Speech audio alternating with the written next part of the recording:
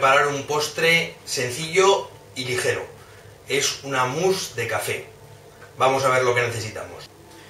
Utilizaremos leche normal, puede ser desnatada, semidesnatada o, o normal, la que vosotros toméis habitualmente.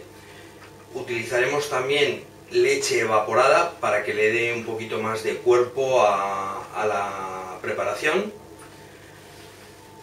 Para que solidifique vamos a utilizar gelatina, en este caso gelatina animal.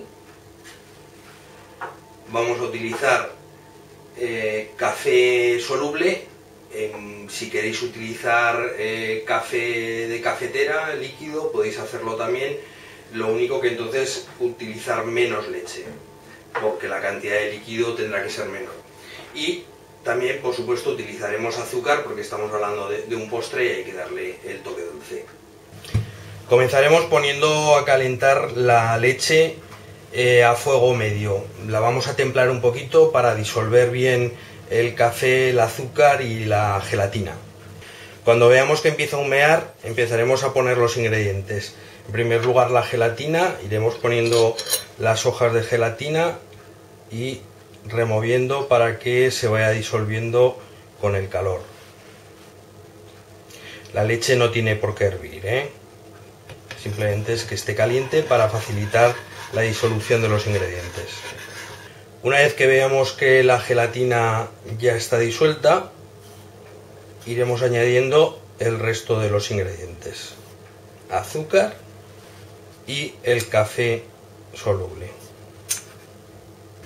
y removeremos para que termine de disolverse. Con esto ya podemos apagar el fuego.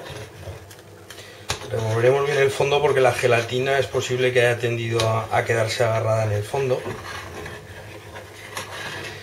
E incluso retiraremos ya del fuego. Y ahora lo dejaremos apartado para que se vaya templando. Mientras tanto vamos a poner la leche evaporada en el vaso de la batidora porque vamos a proceder a batirla para montarla. Es decir, lo que vamos a intentar es eh, meter aire dentro para que la mousse coja la consistencia de mousse que estamos buscando.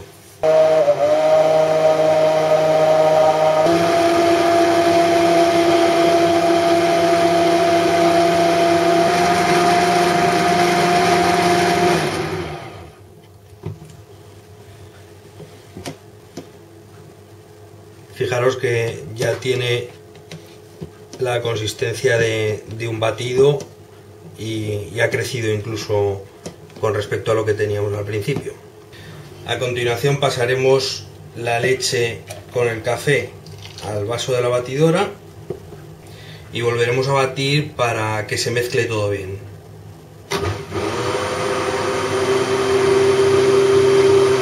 Como ahora tenemos más cantidad de líquido hay que vigilar la velocidad con la que batimos para que no se derrame.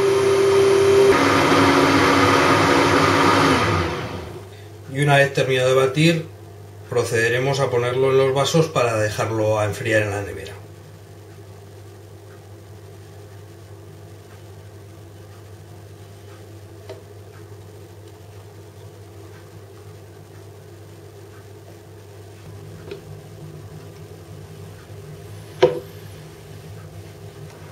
A partir de aquí lo pondremos en la nevera entre 6 u 8 horas y después ya está listo para consumir. Que aproveche.